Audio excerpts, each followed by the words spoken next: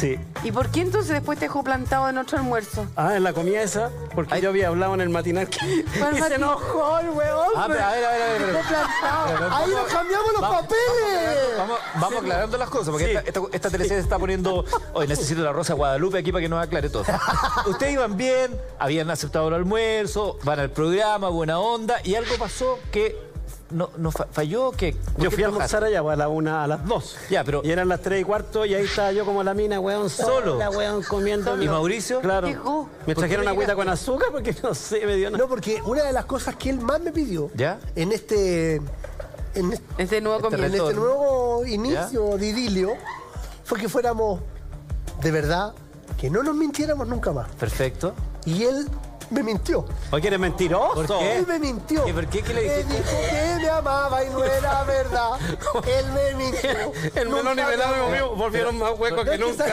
No, ya. Diga esto. No digas esas cosas. No, pero No se dice, pero se dice hueco, se dice vacío. Sí, sí, perdón. Ya, pero Eh, ¿por qué te mintió?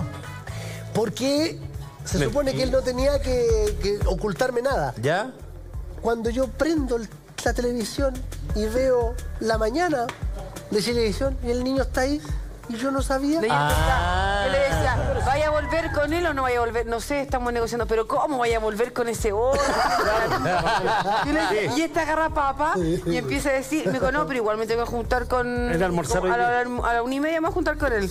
Y lo dejaron plantado. Sí, me dejó plantado. Qué Y nunca feo. comer. Pero bueno, Pero lo fueron al festival. eso. Después nos arreglamos. Fueron al festival de Iquique, les fue bien. Sí, en Iquique queremos Sí, darle los en agradecimientos a la gente que nos vio en Iquique, a los turistas, más de 10.000 personas. Más de 10.000 personas. Después de los Jaivas actuamos.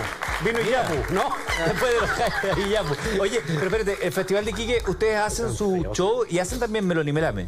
No, Eso es para los casinos. específicamente Melón y Melame. Perfecto. Lo que nosotros ahora, eh, gracias a Dios, vamos en una gira con, eh, con Casinos eh, Dreams.